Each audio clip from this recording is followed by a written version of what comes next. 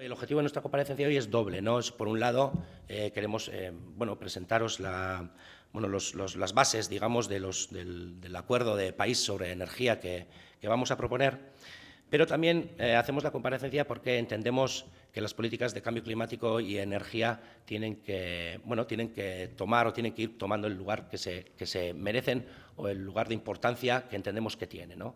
Porque, bueno, eh, a estas alturas es evidente que estamos ante un reto civilizatorio y dos, dos, de las cuestiones, dos de los vórtices de este reto civilizatorio son la política climática y la política energética o la cuestión energética. Y además las dos están vinculadas entre sí porque todos sabemos que la política energética o que nuestro sistema energético está basado en la quema de combustibles fósiles, ¿no? en más de un 80%, y que ese mismo 80% es la cota de influencia que tiene las emisiones de gases de efecto invernadero sobre el cambio climático.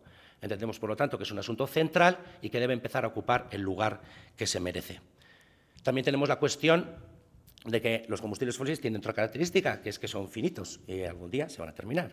Entonces, bien sea por una cosa, bien sea por otra, debemos hacer los cambios de manera eh, urgente y con pasos decididos y con una hoja de, ruta clara. Como decía Fatih Birol, el presidente de la Agencia Internacional de Energía, es importante abandonar los combustibles fósiles antes de que ellos nos abandonen a nosotros.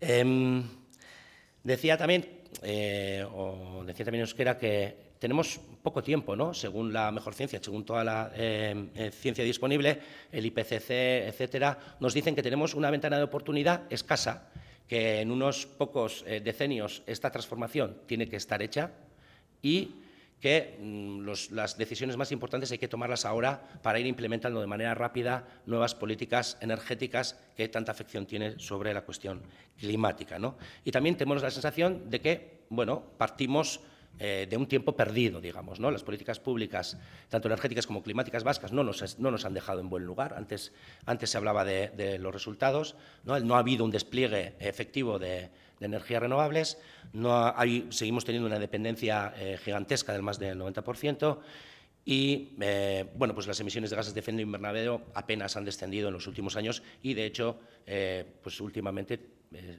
a la par que, crece la economía, están creciendo las emisiones. ¿no? Por lo tanto, partimos de un escenario eh, particularmente eh, complicado, digamos. ¿no? Somos conscientes de ello y desde Euskal Herria Bildu lo que decimos es que hay que dar un impulso político, estamos dispuestos a hacer ese, ese esfuerzo, ese empuje, esa búsqueda de acuerdo, acuerdo estratégico de país, porque hay que involucrar a todos los actores y a todos los sectores, no solamente a los políticos, sino también a los em, empresariales, a los sindicales, a diferentes eh, movimientos y, en general, a toda la población, porque las afecciones de los cambios en la energía afectan a todas y cada una de las personas de este país. ¿no? Bueno, decíamos que eh, los principios del acuerdo de, de país eh, sobre la energía están ya registrados en el, en el, Parlamento de Gasteiz y que también hemos tenido ya eh, contactos con diferentes partidos eh, para ver mm, bueno, el recorrido que puede tener esto, ¿no? que para nosotros entendemos que es importante que lo tenga. Eh, por hacer un resumen rápido, cuatro cuestiones o cuatro eh, hitos eh, que queremos remarcar de, este, de, esta propuesta de acuerdo. ¿no? Lo primero sería hablar de los objetivos. Nosotros entendemos que si no ponemos un horizonte, un objetivo claro, vamos a hacer políticas erráticas y entendemos que ese objetivo tiene que ser que para el año 2050 nuestra economía, nuestro metabolismo energético sea neutro en emisiones de carbono.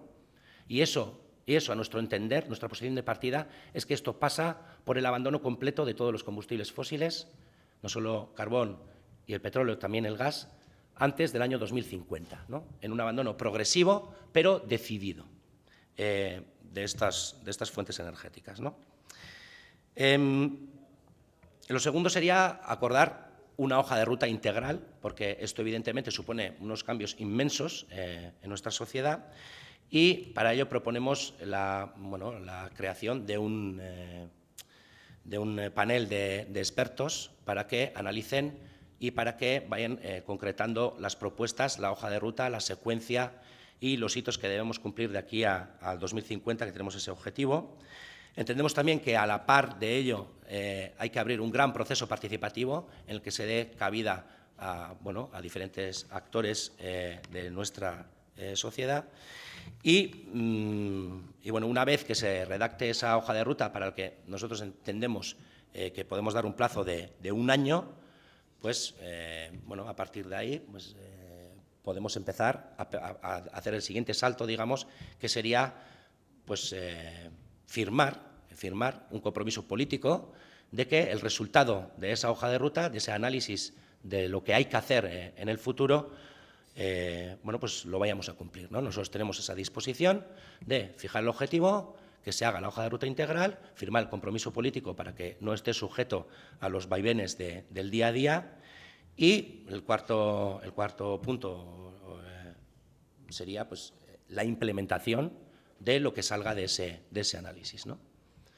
Entonces, esa implementación, evidentemente, tendría una, secuencia con objetivos intermedios, eh, con tareas, digamos, para todos los sectores, tendría bueno, una implicación en todas las políticas, porque la política energética, en la medida que es precursora de todo el resto de actividades, pues va a tener eh, afecciones en el primer sector, en la movilidad, en el urbanismo, en la planificación territorial, la planificación industrial, etcétera, etcétera. ¿no? Bueno, esas serían un poco las bases de la propuesta de acuerdo.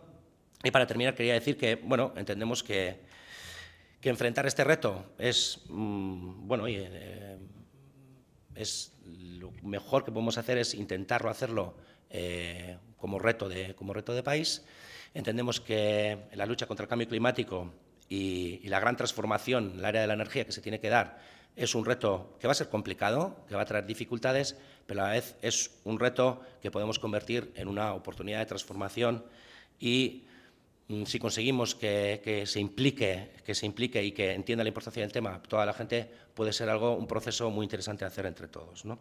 Tenemos que empezar a imaginar cómo vamos a movernos en el futuro sin petróleo, cómo nos podemos calentar sin gas, cómo va a ser todas las cuestiones cotidianas en las que la energía está presente y apenas le damos importancia. ¿no? El reto es enorme, es tan grande como inaplazable. Entonces, bueno, entendemos que se lo debemos a las, a las siguientes generaciones y en este sentido pues nuestra voluntad pues, es inequívoca. ¿no?